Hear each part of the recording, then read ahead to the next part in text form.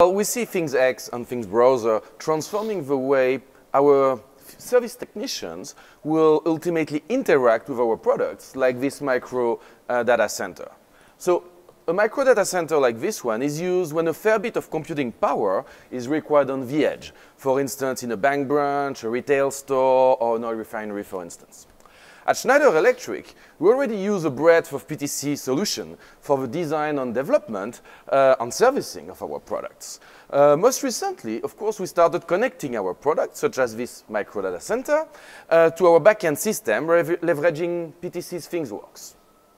In fact, you can see now on the dashboard here, we're tracking the performance of these products, which are reporting a number of characteristics, such as location, temperature, battery status, and its useful remaining life, among other things.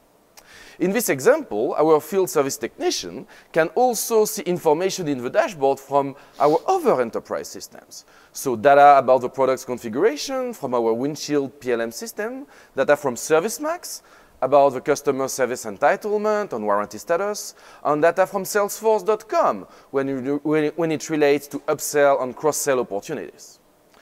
So while the dashboard view is valuable, at Schneider we know that our field service technician can be even more productive by seeing all this information in the context of the actual product they are servicing. So I think, Mike, you're going to be my field service technician I today. I will be your technician. Right? So, so with the ThingWorx platform, you can immediately see information about this particular uh, UPS right here in Boston. For instance, you can see the battery level and the machine temperature uh, driven by data that is trimmed off by the machine. You will also notice the status uh, um, indicator, the little eye, which is orange, indicating that there is some maintenance required. In fact, when Mike selects on the information button, we're notified that the battery needs to be replaced. So he will choose to perform that task now, and the instructions are clearly presented without, no, without any ambiguity. He can see that first he needs to remove the faceplate, then a couple of screws, then the support brackets, and then the battery itself. All of this will enable uh, the technician to execute the procedure quickly and without any mistakes. Hervé, that's a, that's a great example of using ThingBrowser and augmented reality to extend the power of the ThingWorx IoT platform. Sure.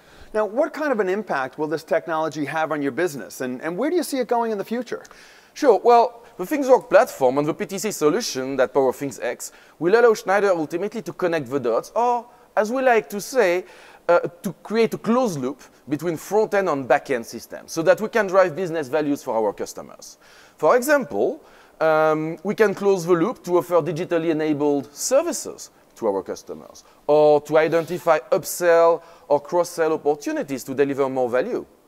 We can also close the loop with engineering and incorporate feedback from the field directly into our engineering process on the CAD and PLM systems so that we develop you know, more innovative and better quality products. And finally, what we just saw, we can have a closed loop with our field service technician so that they are better informed about the status of our products, issues, diagnosis before they arrive on site so that they are more efficient and effective in servicing our customers. So that's just one of the many ways of how we are digitizing our business ecosystem. Uh, AR is a great technology for us to bring the world of IT and OT closer together. As we like to say, our connected technologies ensure life is on for everyone, everywhere, and at every moment. Great. Well, thank you very much for being thank here. We really appreciate Thanks. it. Great example.